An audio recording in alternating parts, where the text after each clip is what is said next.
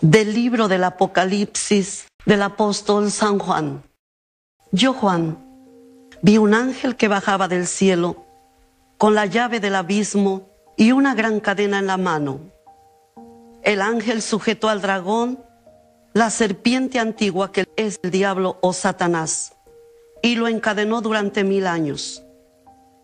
Lo arrojó al abismo, lo encerró y puso un sello para que ya no pudiera engañar a los pueblos hasta que pasaran mil años. Después de esto, es necesario que lo suelten un poco de tiempo. Vi también unos tronos donde se sentaron los encargados de juzgar.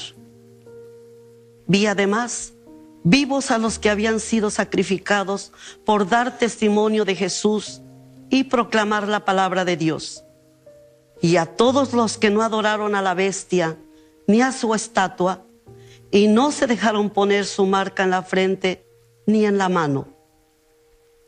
Estos revivieron y reinaron con Cristo durante mil años. Vi después un trono brillante y magnífico y al que estaba sentado en él. El cielo y la tierra desaparecieron de su presencia sin dejar rastro y vi a los muertos, grandes y pequeños, de pie delante del trono. Fueron abiertos unos libros y también el libro de la vida.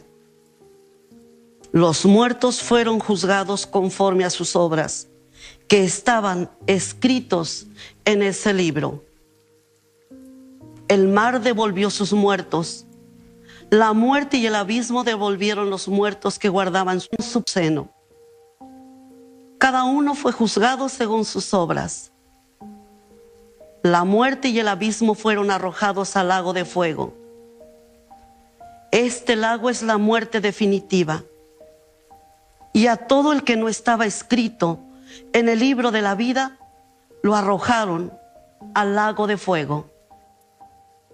Luego vi un cielo nuevo y una tierra nueva, porque el primer cielo y la primera tierra habían desaparecido y el mar ya no existía. También vi que descendía del cielo desde donde está Dios, la ciudad santa, la nueva Jerusalén, engalanada como una novia que va a desposarse con su prometido. Esta es la morada de Dios con los hombres. Mi alma se consume y anhela los atrios del Señor. Mi corazón y mi carne retosan por el Dios vivo. Esta es la morada de Dios con los hombres. Hasta el gorrión ha encontrado una casa y la colondrina un nido donde colocar sus polluelos. Tus altares, Señor de los ejércitos, Rey mío y Dios mío. Esta es la morada de Dios con los hombres. Dichosos los que viven en tu casa, alabándote siempre. Dichosos los que encuentran en ti su fuerza, caminan de baluarte en baluarte. Esta es la morada de Dios con los hombres. Evangelio según San Lucas.